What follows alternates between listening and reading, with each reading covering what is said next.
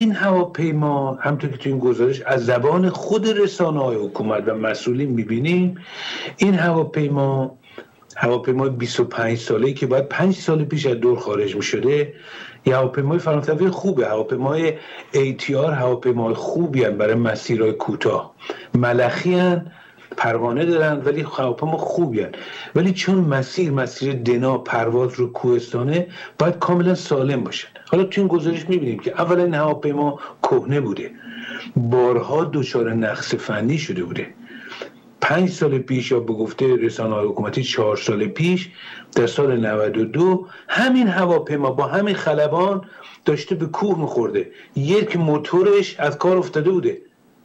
تونسته نجات بده اینو بشونه. گزارش رو می‌بینیم تو همین. 24 روز قبل از این حادثه اخیر هم دوباره به خاطر نقص فنی تو همین مسیر یاسوج برمیگرده تهران. موتور این هواپیما رو به جایی که مثل آدم مثل همه کمپانی های دیگه ای که هواپیما رو در کشورهای دیگه می‌خرن بفرستن به کمپانی ایتیار فرانسوی ایتالیایی تعمیر کنن خودشون در ایران تعمیر می‌کنن که می‌دونید که امکانات نیست. این ست بعد از زمان خودشون میشنن که در به در فرودگاه اینش مهمه در فرودگاه هیچ سیستم الکترونیکی وجود نداشته. سیستم رادار وجود نداشته کار نمی‌کرده. بلت که موتور برقشون کار نمی‌کرده. شما تصور بکنید هواپیما تا نزدیک یاسوج رفته نمی‌تونسته بشینه. هواپیما رفته تا نزدیک یاسوج. رادار نبوده. این از زبان خودشون ببینیم بعد هواپیما وقتی سقوط می‌کنه بعد سیستمی درش هست جعبه هست که سیگنال میفرسته به ماهواره ها که زود پیدا کنن اگه کسی زنده مونده برن نجات بدن. دو تا جعبه بعد در این هواپیما طبق قوانین بین می بوده هیچ کدومش عمل نکرده. که به خود همین گزارشگر تلویزیون یا باتری نداشته خاطر خندهدار نیست یا آبونمانی که بعد می‌دادن ما نمی‌دونم 100 دلار چقدر می‌دادن به اون کمپانی های ساتلیت بین المللی سیستم هوایی بین المللی به اون ندادن. آخه شما ببینید حالا موقعی ما به این جنایت می‌بینیم می‌بینیم تو اینم که خامنه ای میگه آقا این پولا رو برای چی ما خرج بکنیم؟ ناوگان هواییمون رو نو کنیم. اولویته. خب صد خورده میلیارد دلار اینا پول گرفتن تو این دو ساله بعد از سازش هسته ای خرج چی کردن؟ خب خرج سوریه کردن که الان صحبت چی می‌کردیم؟ خرج چی کردن؟ سیستم سرکوبشون در داخل. این آن روی سکه این جنایت هولناک در یاسوش آن روی سکش اینه. بنابراین حالا اون روی سکش رو هفته بعد می‌بینیم. در این گزارش از زبان خودشون ببینیم چه فاجعه اینا اصلا جان مردم اینا برشون ارزش قائل نداره یعنی همین سقوط این هواپیما ماهیت این حکومت رو به خوبی نشون میده. می‌کنیم هم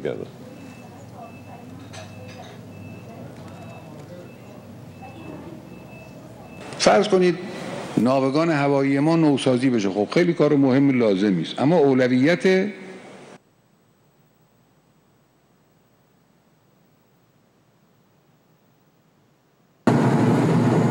هشت صبح فرودگاه مهرآباد تهران.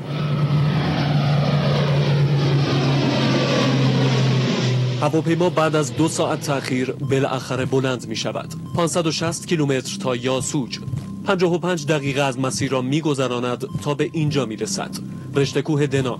تصاویر از فاصله بسیار کم هواپیماهای عبوری با قله های دنا حکایت دارد. و ناگهان هواپیمای تهران یاسوج به مقصد نرسیده در این نقطه از رادار محو می شود. پایانی نامعلوم. هواپیما 66 مسافر داشت که یک نفرشان از پرواز جا ماند.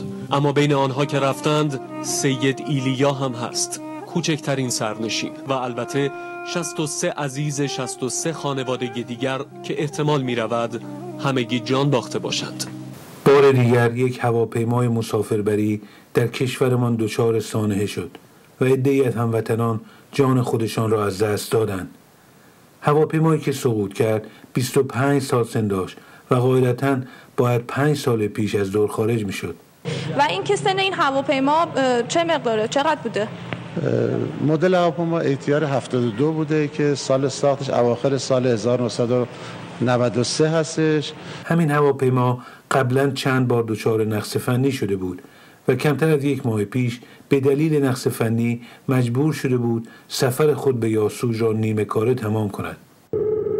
هواپیمای شرکت هواپیمایی آسمان پس از بلند شدن از فرودگاه مهرآباد به مقصد یاسوج در میانه راه با نقص فنی مواجه شد و به تهران بازگشت. این خبری بود که پنجم بهمن ماه منتشر شد اما هیچ کس فکر نمی کرد این هواپیما 24 روز بعد سقوط کند. پنج سال پیش در سال 92 نیز همین هواپیما در حالی که توسط حجت الله فولاد یعنی خلبان پرواز آخر هدایت می‌شد در مسیر تهران یاسوج موتور سمت راستش از کار افتاد. اما خلبان توانست آن را به سلامت بر زمین بنشاند. کاپیتان فولادی خلبان پرواز تهران یاسوج پیش از این یک بار با مهارت کامل جان مسافران پروازی دیگر را نجات داده بود. چهار سال پیش این مصاحبه را همان موقع گرفتن. ارتفاع کمتر از هزار پا از زمین گرفتیم. موتور سمت راست شماره دومون از کار افتاد و بعد پروسیجری که داشتیم آموزشی که تو سیمولاتورها و تو آموزش آسمان ما دیده بودیم اومدیم نشستیم. 16 هزار ساعت پرواز دارم. مثل بچه هم دیگه ای کاش می‌شد امروز هم با کاپیتان فولادی مصاحبه می کردیم جمهوری اسلامی برای صرف جوی مالی به جای آنکه طبق معمول دنیا هواپیماهای ایتیار را برای تعمیر و چک سلامتی نزد سازنده آن در فرانسه بفرستد آنها را در ایران تعمیر می کند.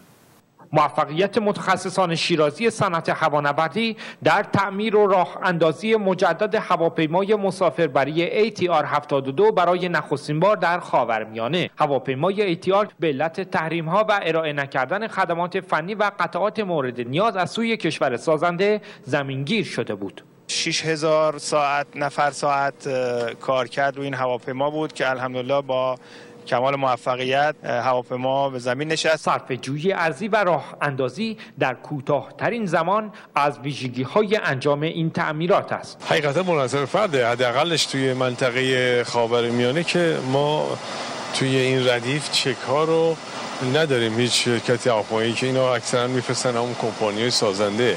با نگاهی به فاجعه هوای اخیر و دیگر سوانه هوای متعددی که در سالهای اخیر در کشورمان به وقوع پیوسته می توان به بیتوجهی کامل رژیم ایران به جان و زندگی هموطنان پی برد. ناوگان هوایی مسافری ایران بسیار فرسوده و نظر ایمنی خطرناک است. در چهار دهه گذشته به دلیل سیاست خارجی رادیکال جمهوری اسلامی، حمایت از تروریسم و خصومت آشکار با آمریکا، فروش هواپیماهای آمریکایی به کشورمان تحت تحریم قرار داشته است. آمریکا می‌گوید که این هواپیماها دارای تجهیزات الکترونیکی و رادار بسیار پیشرفته هستند و می توانند برای جمهوری اسلامی کاربرد نظامی و استفاده در تروریسم داشته باشند. هواپیماهای اروپایی مثل ایرباس نیز در صورتی که بیش از ده درصد تجهیزاتشان ساخت آمریکا باشد برای فروش به ایران باید از خزانهداری آمریکا اجازه مخصوص بگیرند پس از سازش هسته‌ای و اجرایی شدن آن در ژانویه 2016 جمهوری اسلامی به منابع مالی جدید دست یافت و تحریم فروش هواپیما به ایران نیز لغو شد. علی خامنه‌ای در آن ایام در دیدار با هیئت دولت و مسئولین نظام استفاده دولت از پولهای آزاد شده جمهوری اسلامی برای خرید هواپیماهای جدید را اولویت نظام ندانسته و با آن مخالفت ضمنی کرده بود. گاهی یک کاری خیلی مهمه خیلی لازمه اما اولویت. یعنی از اون کار لازمتری وجود داره. حالا فرض کنیم که پولهای ما آزاد شد که البته آزاد نشده معلوم هم نیست که آزاد خواهد شد حالا خواهند رسید. اما حالا آزاد شد پولهای ما در بانکهای بیگانه. صرف چی بناس بکنید فرض کنید ناوگان هوایی ما نوسازی بشه. خب خیلی کار مهم لازمی است اما اولویت آیا این اولویت کشور؟ با این حال دولت روحانی با استفاده از فایننس خارجی چند قرار داد برای خرید هواپیما با بوینگ، ایرباس و همچنین ATR امضا کرد. در دو سال گذشته سه هواپیمای ایرباس و چند فروند هواپیمای ATR تحویل ایران شدند. اما در اجرای این قراردادها و تحویل این هواپیماها موانع جدیدی ظاهر شدند. سایت دنیای اقتصاد در همین زمینه نوشت شرکت هواپیماسازی ارباس فرانسه در جدیدترین اطلاع رسانی اعلام کرده که تحویل هواپیماهای سفارشی ایران با تأخیر انجام می شود. به گفته مدیر فروش این شرکت تا زمانی که ایران پیش پرداخت های سفارش خود را تکمیل نکند ایرباس در ساخت و تولید هواپیما برای ایران محتاطانه عمل خواهد کرد علاوه بر این مسئله فایننس موضوع دیگری است که این شرکت هواپیماساز درصدد است آن را با دقت ویژه‌ای پیگیری کند تا مشکلی برای طرفین قرارداد پیش نیاید بانک های اروپایی به دلیل تنش های جدید بین ایران و آمریکا از فایننس معاملات بزرگ با جمهوری اسلامی پرهیز می کنند. قرارداد ایران با بوینگ نیز آینده نامعلومی دارد. طی ماههای گذشته اسناد و عکسهای جدیدی در مورد استفاده جمهوری اسلامی از هواپیماهای مسافربری به ویژه ایران ایر و ماهان ایر برای انتقال نیروهای وابسته به سپاه قدس به سوریه و همچنین ارسال اسلحه به کشورهای منطقه منتشر شدند در نتیجه کنگره آمریکا از دولت ترامپ خواسته است تا از اجرای قرارداد بوینگ جلوگیری کند.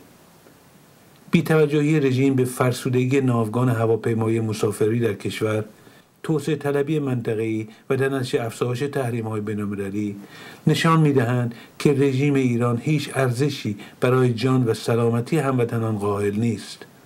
دیروز ساعتها با بیش از ده خلبان زبده استاد خلبان در شرکت های هواپیمایی ایرانی که همشون در حال پرواز هستند صحبت کردیم.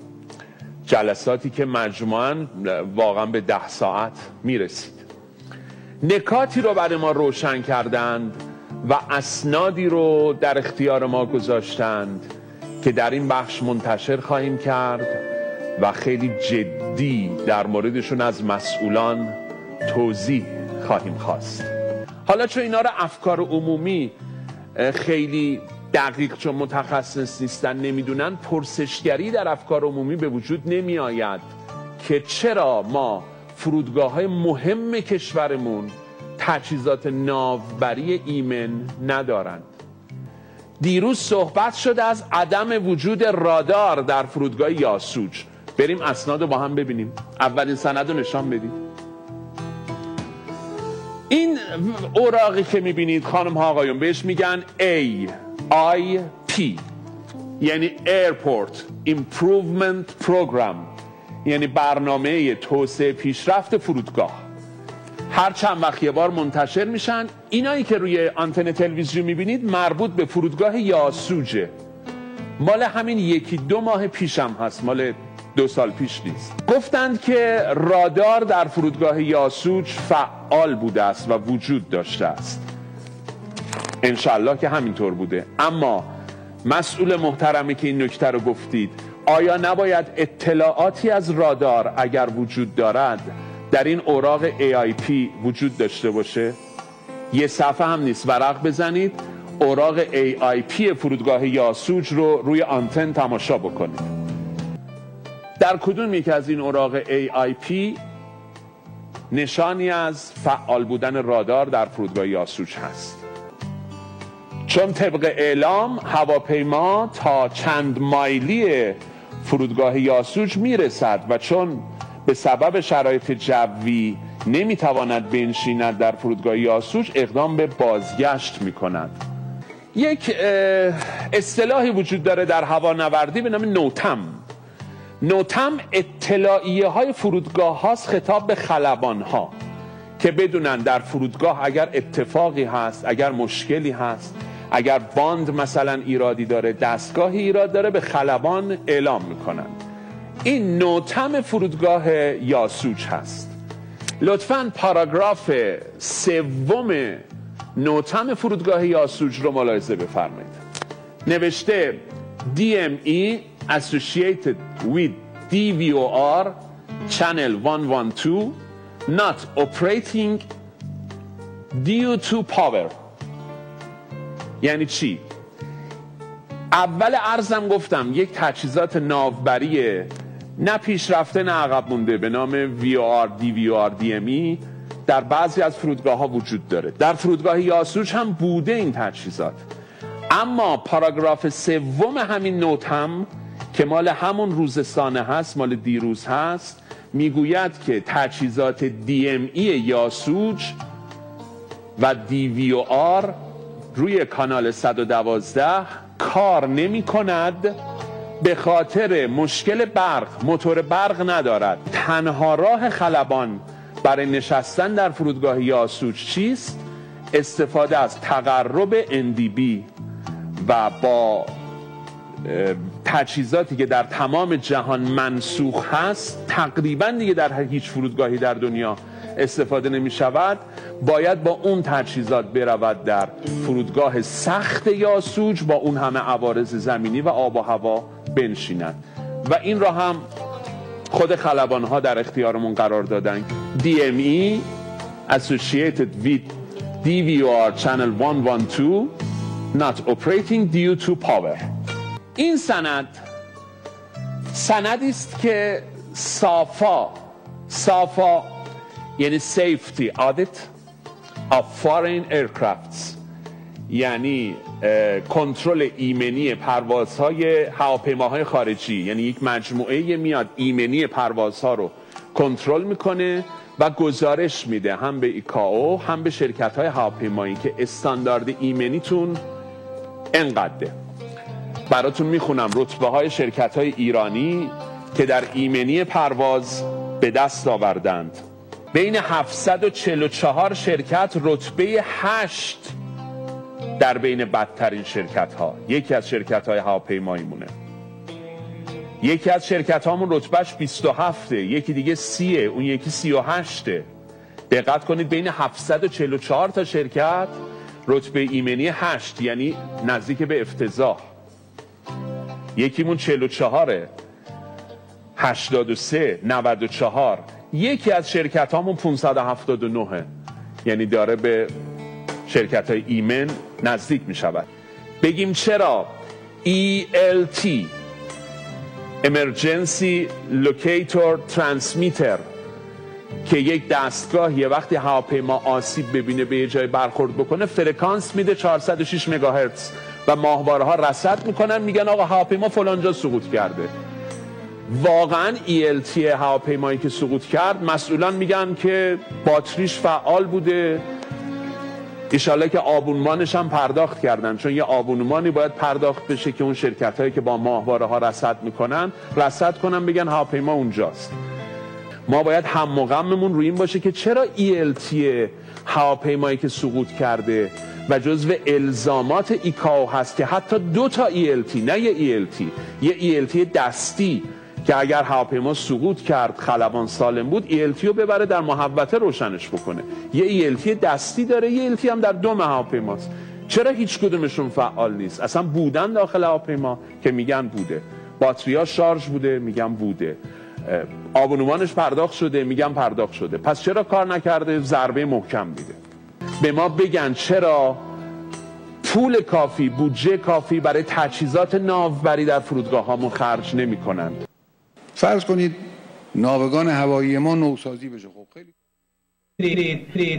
سیاست جمهوری اسلامی چه در رابطه با آمریکا چه در رابطه با اسرائیل تا حدودی هم در رابطه با عربستان حفظ تنش بوده. حفظ تنش این فضای جنگی با آمریکا و اسرائیل خامنه ای اجازه داده که اون سیستم ایدئولوژیک حکومت خودش رو سر پا نگه داره. اون ده درصد 15 درصد هوادارای خودش رو نظر ایدئولوژیک زنده نگه داره یارگیری بکنه برای نیروهاش در داخل کشور سیستم سرکوبش رو حفظ بکنه.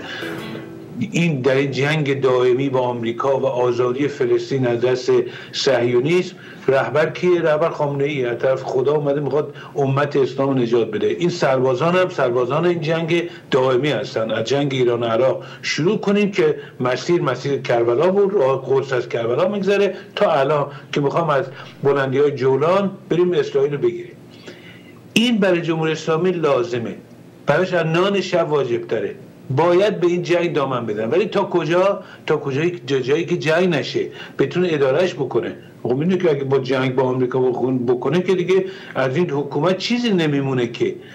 جنگ با اسرائیل هم حتی حزب الله یه موقعی که وارد جنگ شد حتی 2006 هم پیش بینی نمی‌کردن که اونا وقتی اون سربازان اسرائیلی رفتن داخل خاک اسرائیل گرفتن و آوردن گروگان گرفتن چند نفرشون کشتن. احتمال جنگ نمی‌دادن. دنبال تنش میگشتن. یا حتی درگیری های به اصطلاح کنترل شده.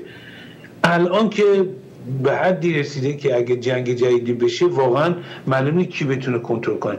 من فکر نمی کنم هدف جمهوری اسلامی جنگ بشه. اسرائیل هم به هیچ وجه. اما وقتی که دینامیسم غذایا دینامیسم تحولات و نوع دخالت جمهوری اسلامی در منطقه پایگاه هایی که در سوریه زده اینا به جاهایی خواهد رسید که ممکنه از کنترل خارج بشه یا به نقطه‌ای برسه که برای اسرائیل دیگه غیر قابل تحمل بشه.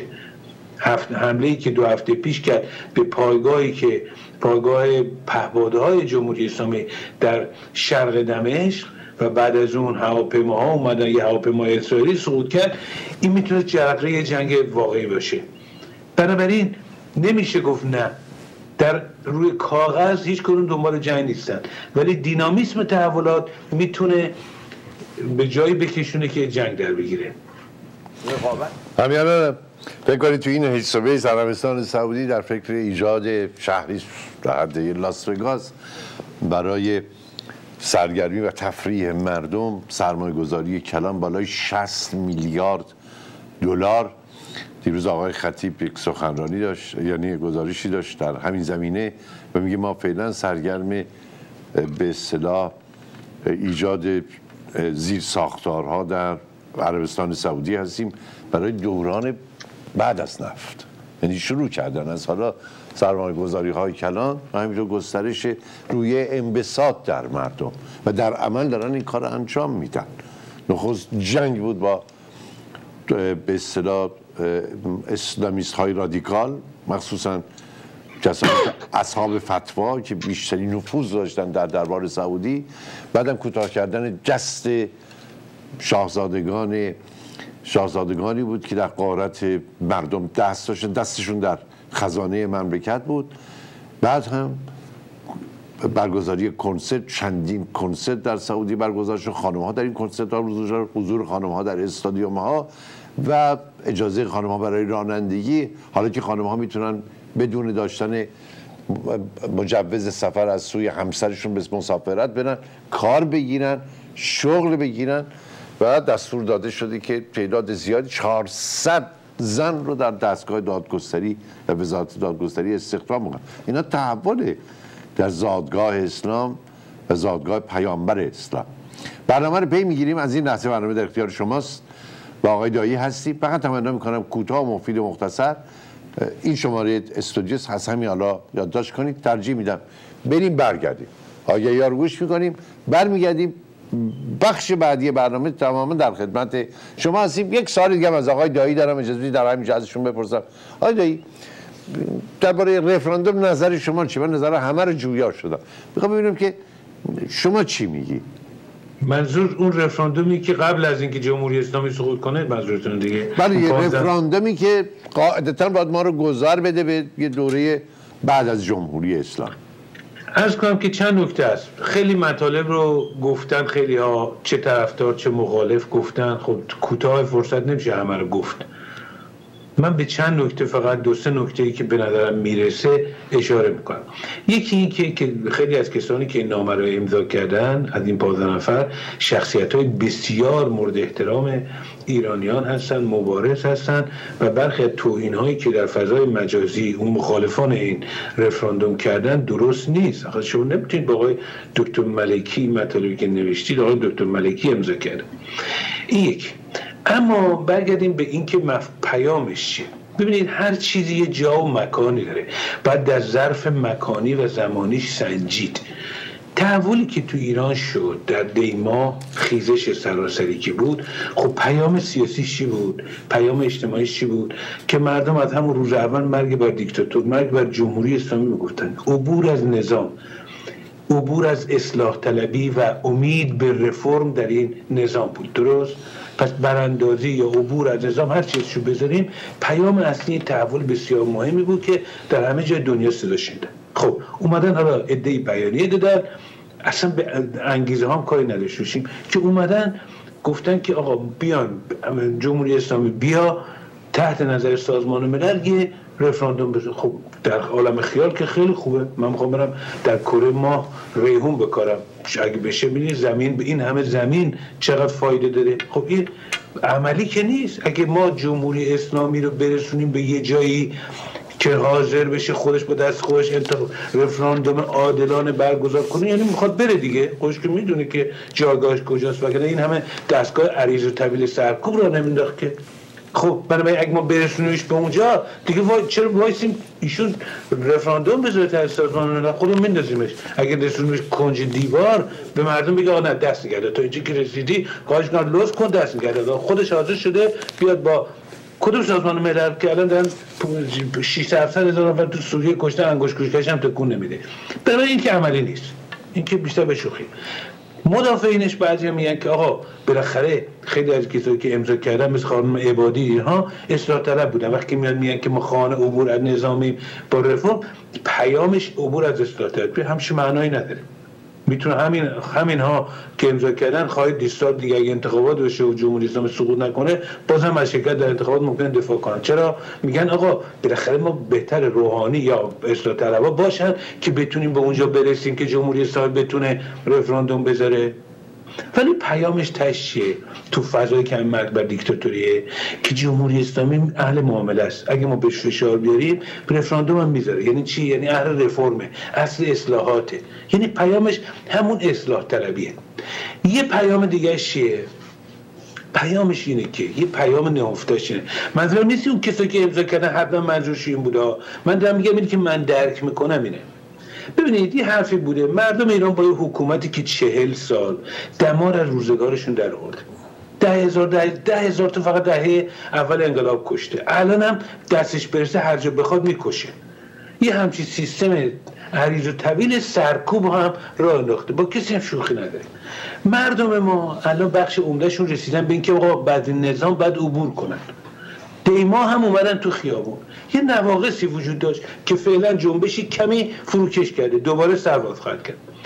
احتیاج به سازماندهی داره احتیاج به رهبری داره احتیاج به اینکه آدم موانعش رو بشناسه کمکش کنه ها؟ بنابراین نقش رهبران یا نقش روشنفکران رهبر نقش روشنفکران کمک بکنیم اون که درشون می‌رسن کمک بکنیم آقا. چطوری بیایم از این مرحله عبور کنیم؟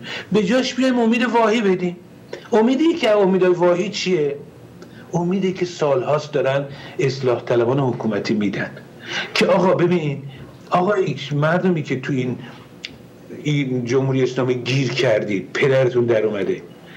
یه وقت فکری نکنید که مثلا برای براندازی حکومت یا رسیدن به دموکراسی نیاز به دادن هزینه است. سازماندهی زحمت کشیدن. نه. باید کمترین هزینه. دیدم یه آقای میگه آقا اصلا به سلامتی خودتون نباید کوچکترین لطمه ای هم وارد بشه. هزینه این راحت هزینه. یعنی انگار میشه راحت. آقا یه کم فشار بیاریم جمهوری اسلامی خودش رفراندوم می‌ذاره. یعنی مثل که شما تو بیابان گیر کردید بی آب و بی نان و بی هیچ چی توی بیابون. می‌خواد راه بیافتید آقا با حتی پای برهنم که شده با زحمت خودتون برسید به نجات پیدا کنید. که نه آقا چرا می‌خوای به خودت زحمت بدی؟ راه بی هزینه شد شما همجا منتظر باش باش. قراره یه لیموزین سازمان ملل بفرسته برات شما سوار بشو. حتی تو اون لیموزین که نشتی کوکا هم برات وام کنن کوکای خونک. این آخه امید واهی دادن به مردم. نیست بعد از اون یه نکته که میگم. حالا می‌خوام خیلی فقط سرتیتشو بگم. یه نکته که آقای میبودی عزیز من بیمش رو دارم. دیدم تو انقلاب ایران. دیدم اینو. این من اصلا بحث انقلاب و مصدق اینا رو پریز می‌کنم. برای اینکه انقدر تئوری های توته هست و تازه همش به دعوا دامن میدانه ولی جاهایی بحث می‌کنیم که به درد امروز اون بخوره. ما کمتر میان بحث بکنیم که بابا این آقای هویزل که تش برد ایران آقای قرباقی و مقدم و اینا که پشت پرده مذاکره می‌کردن بالاخره می‌خواستن جریان به دست بگیرن دیگه. درست؟ ما از این قافل نشیم هیچ وقت. که این حکومت همین روحانی همین جمهوری اسلامی کارت های برنده زیاد داره. دادن این امیدهای واهی با کمک قبل. همونطور که در سال 57 نشستم پشت پرده آقای بختیار اگه میمون که خیلی خوب بود. اصلا کسی به حرف آقای بختیار تو خود ارتش گوش نمی‌کرد. تو خود بازمانده از حکومت شاه کسی گوش نمی‌کرد. داشتن مذاکره می‌کردن که ما با آرامش روحانیون با ارتش با آرامش عبور بکنیم. نجش این بدبختی ما شده. درست؟ الانم وقتی مردم اومدن تو خیابون مرگ بر دیکتاتور میگن مرگ بر نظام میگن تردید نکنید. در اون لحظات که ما هرچی جلو بریم این توطعه ها پره. که آقا بیان یه بخشی از نظام رو بگیرید. یه بخش هم دوستانی که در روی رسانه های مهم هستن و تحت نام اصلاح طلبی و حکومتی و بعضی هم چهره موجهی دار اینا هم باشن یه دیگه هم جمع بکنیم همگی با هم آرامش بدون هزینه بدون نگرانی عبور بکنیم. که چی؟ یه بخشی از جمهوری اسلامی نگه یه بخشی هم از این یه با کمک اروپا و بقیه سر مردم یه کلاه گنده تری بگذاریم. من دارم حرفم اینه. از این نگرانی ها برای من هست. بیام نگاه بکنیم. از الان به بعد ما باید رسد بکنیم. ضمن کمک مردم. بابا ما پنج میلیون ایرانی تو خارج کشور داریم. بیان اینا به جای حرفا بیان ببینن این انرژی سرشار ایرانیان در خارج کشور و در داخل کشور رو چجوری میشه در مسیر برانداختن جمهوری اسلامی با روش های مسالمت که شما میگید. بیایم آرام آرام اینو انجام بدیم کمک بکنیم این انرژی ها رو بسیج بکنیم سازماندهی بکنیم. بگذاریم نه وایتیم قراره که سازمان ملل بیا لیموزین بفرسته برامون نوشابه یخم باز بکنه که از بیابون برسیم به آبادی. از بیامگیر ما رو روی همین استودیو بردارید. چون متاسفانه فکر کنید تمام تلفن ها اشغال میشه. حالا هر کس که زنگ بزنه بعد از اشغال شدن مجموعه خطوط صدا این دستگاه پیامگیر میگه که پیامتون رو روی دستگاه بگذارید که بعد به اطلاع ما رسیده بشه. از این بابت هموطنان ما خیلی در رنجن مخصوصا اونا که از ایران زنگ می‌زنن چون به سختی می‌تونن شماره رو بگیرن. یعنی که درخواست می‌کنم از آقای شجری که حتما هر چیز زودتر این دستگاه رو قطع بکنه. چون افراد روی به اصطلاح با وایس با با چی دستگاه پیامگیر طرف نباشن. مستقیما. یا بیان روی خط یا متوجه میشن که خطوط اشغال سعی می‌کنن مجددا ماره بگیرن. و این گونه خلاصه دست به سر نمیشن. درود بر شما بفرمایید. سلام قربان بفرمایید. خیلی سریع بفرمایید. من یه سوال داشتم از جناب آقای دایی. بفرمایید. و خواستم ببینم در مورد این همه آستیش یا ایرانی ها رو می‌گیرن این دولت جمهوری. چطور دولت های مثل آمریکا فرانسه آلمان انگلیس این کار نمی‌کنن؟ من خیلی متشکرم. تشکر آیدایی عزیز همین هم این عکس رو خوب نگاه کنید این هواپیمایی است که مسئولان نظام بهش پرواز می‌کنن. هواپیمای از این دست و مقایسه کنید با هواپیمایی که هواپیمای تهران یاسوش که آقای دایی امروز یک گزارش مستند دربارش به ما عرضه کرده. این عکس خیلی گویا بگذارید باشتش هستن. بذارید پشت سر ما باشه یا همونجا باشه آقای. ما رو نشون ندید. بذارید همت هم بتونن آقای بفرمایید. بالاخره ببینید هموطن ندید. بعد یه تفاوتی باشه دیگه در رفتار بین جمهوری اسلامی با اونا. اگه بخوام اینا این کارو بکنن دیگه وقت چه ایرادی ما داریم به جمهوری اسلامی؟ نه خب نمی‌تونن این کارو بکنن. از اخلاقی درست نیست. درود بر شما بفرمایید.